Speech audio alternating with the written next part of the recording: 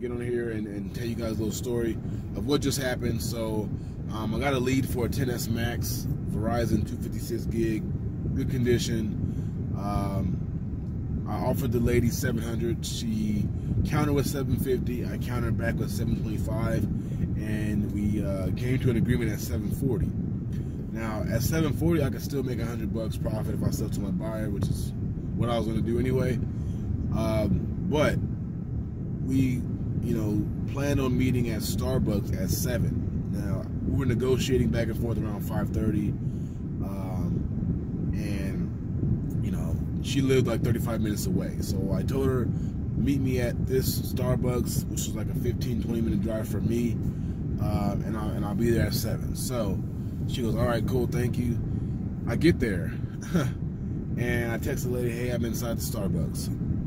Uh, about five minutes go by, she didn't. She read it, but she didn't respond back. And then she goes to say, hey, um, you know, my husband sold the phone, or you know, some some excuse she had why she couldn't uh, sell me the phone. Apparently, her husband sold the phone without telling her.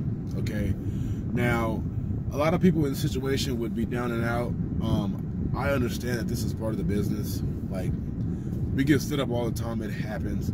Um, so I don't let let it affect me too much.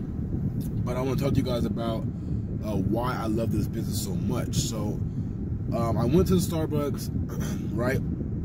On the way back, I'm at, I'm at a light, so I'm uh, on my phone at a light, and uh, this guy that, that usually sells me Sprint phones says, hey, I got two open box XS Maxes for sale.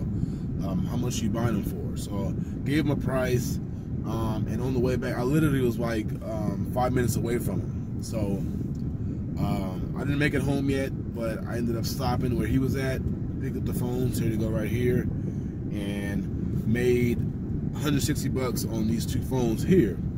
Now, again, guys, this is doesn't happen all the time, but this is why I love the business. Just the fact that, you know, one deal where somebody, you know, you get set up in one deal, it's not the end of the world.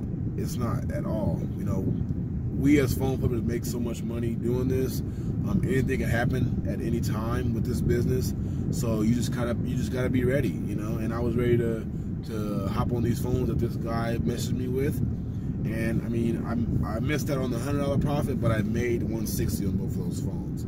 So just wanted to get on here and tell you guys uh, the story, and you know let you guys know that things like this happen. Just let it let it roll off your shoulder. Um, you know it, it just happens. It's part of the business, but always be prepared. You know when when you are going to get a deal, be ready to meet ASAP if you can. All right. So that's that. Hopefully, you guys have a good weekend. Uh, probably not going to be buying much phones this weekend. I'm tired. Hopefully, hopefully I don't show that in the video, but I'm pretty tired. Uh, but yeah, guys, have a good weekend. I'll see you guys next week.